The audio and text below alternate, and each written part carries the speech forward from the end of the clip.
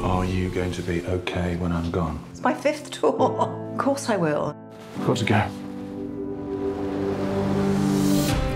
I'm Kate Barclay, Colonel Barclay's wife. Let's come up with some exciting activities to do while our service people are away. What about singing? Singing. Let's just get the strippers in. This singing club is going to be a lot of fun. And uplifting. And there'll be a few beers afterwards. Why don't we... Sorry.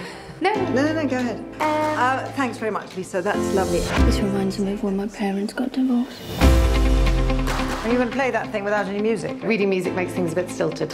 Oh, I'm not sure Mozart would agree with that. One, two, three.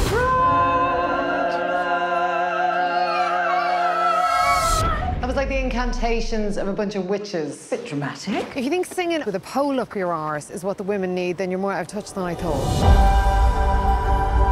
More troops are being deployed to Afghanistan. I just feel sick all the time. Every time the phone rings, every time the doorbell goes. You may not need the choir, Lisa, but those women do.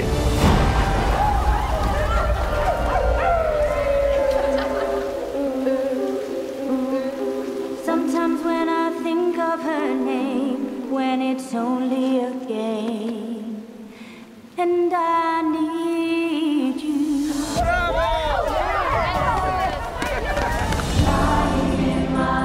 Brass heard you rehearsing, and you've been invited to sing at the Festival of Remembrance.